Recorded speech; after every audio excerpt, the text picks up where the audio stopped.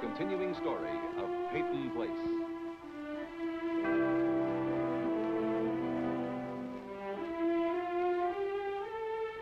Starring Dorothy Malone as Constance Mackenzie, Ed Nelson as Michael Rossi, Mia Farrow as Allison Mackenzie, Ryan O'Neal as Rodney Harrington, Barbara Parkins as Betty Anderson, Tim O'Connor as Elliot Carson, Christopher Connelly as Norman Harrington.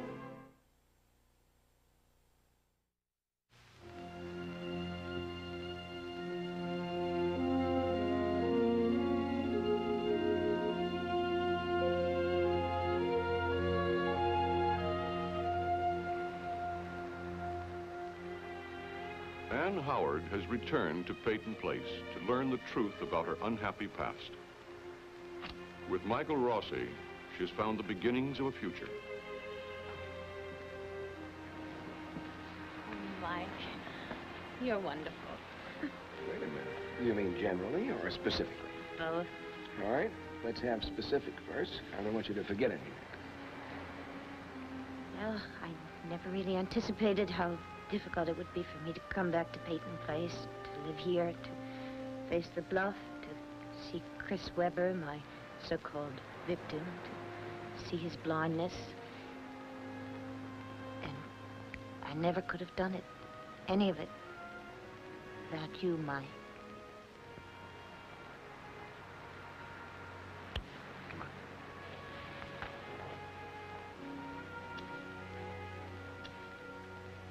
Well, you slide over and I'll take you home, huh? What? Well, I don't want you going home at this hour of the night alone. You'd have a long walk back. So what? A walk will do me good. And you'd do at the hospital in, in five hours. Now, who's the doctor here? Sometimes I wonder. All right. And I, uh, I was wondering about something. Mike, everything's all right. You made me feel that way. You don't have to drive me home and then walk back. Oh, I don't want to go, but I'll see you tomorrow. All right, you drive slowly now. In this car? Yeah. Mike? You don't have any doubts, do you? No. You sure? I want you to be sure about yourself now. What about then? I still don't know. Maybe you won't have to know about that. I wish I could just dismiss it. Why? I haven't dismissed it. I know what happened. A boy got pushed over the bluff, and he's blind now. Someone was guilty. But that doesn't mean they have to be guilty now. And I've seen you working at the hospital. I've seen you working with the children. I know you. I've been with you and love you.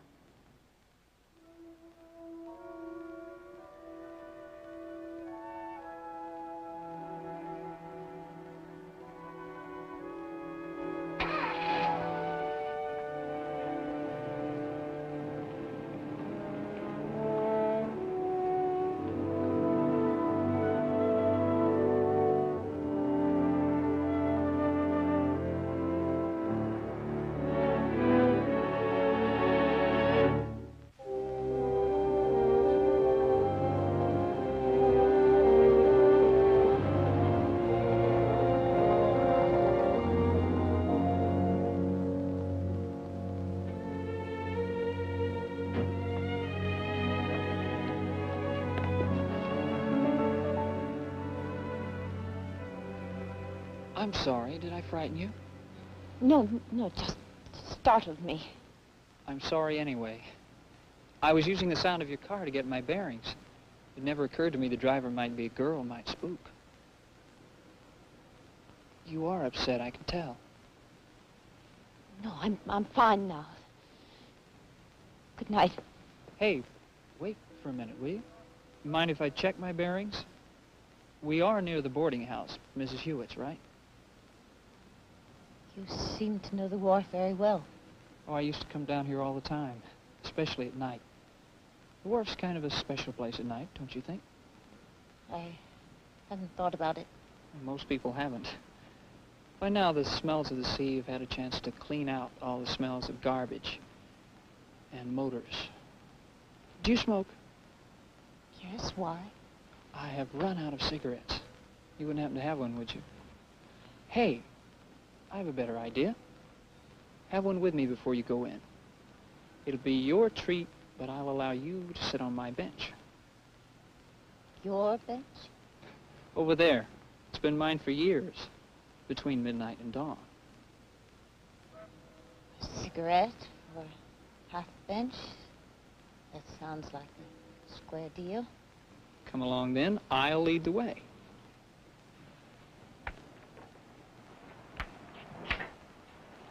What do you usually do when you run out of cigarettes after everything is closed? You mean when there aren't any strange young girls around?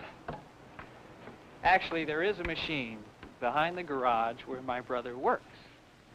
I smoke the fourth button from the left. Now you probably want me to go buy my own, don't you? No. You don't sound too positive. I make you nervous. Because I'm blind? Perhaps a little. Don't be. I'm quite used to it, and there's really nothing you can do about it. So let's have that cigarette.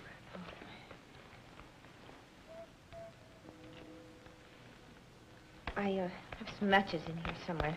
I'll get it. Heads up now, I don't want to burn you.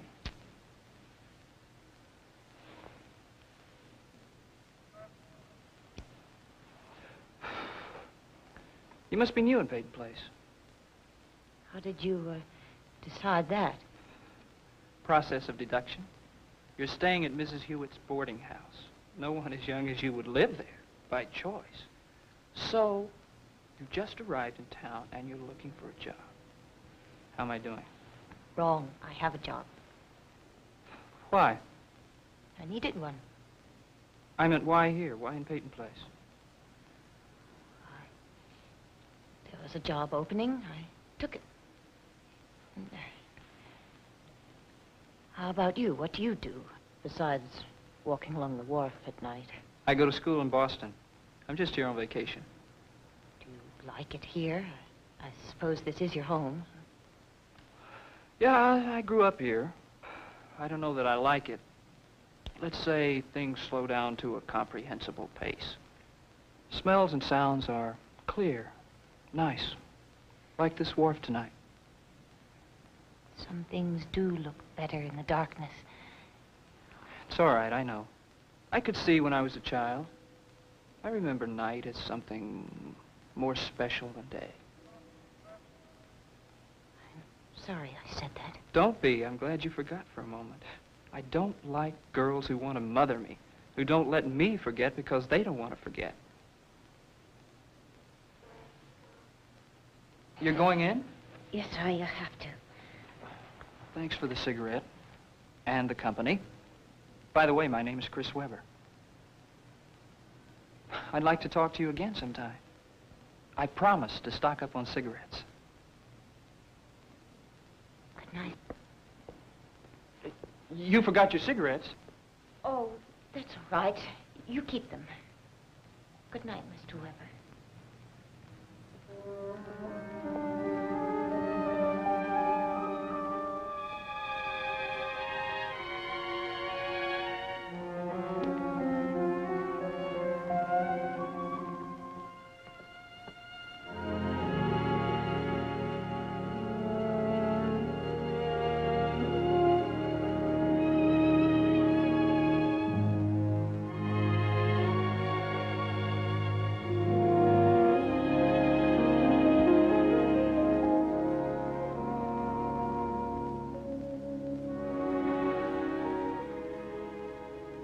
When are you going to eat your breakfast?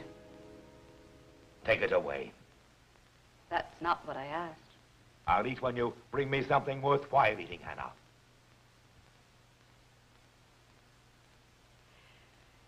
I wish you'd get rid of that portrait. If you could have seen the way that girl, Ann, was staring at it last night. What if she had seen the initials on it? Her father's initials, his signature, all recognized his style. You said she didn't. I said she didn't seem to. If you could have seen the way she was staring at it. Martin, please, Let me take it down. No. Do we have to be constantly reminded? What is this, some sort of grotesque punishment for her sin? And our own. Yes, it is a reminder. I hate that hating. Good. Hatred is strength. It's there to remind us not to stop hating Hannah, ever. The night I offered him the agreement, I was afraid. He could have turned it down. Instead, he came at me with that broken bottle. And he could have killed you. He almost did. From that moment on, I knew that Colby would play our game. There was no longer any point in being afraid. Hate him, Hannah. I've dealt with him before. I'll deal with him again. Don't be afraid. We're vulnerable, Martin. You and I vulnerable? Never. Yes, because now you love Rodney, and don't deny it. And Steven is my son. Hannah, if you don't pull yourself together, I'll... You'll what? What will you do, Martin? Will you fire me? Or do you want to make a new deal? What is it worth it to you, Martin, to keep me quiet? A million? Two million? Understand this, Martin. I want my son. You have no son.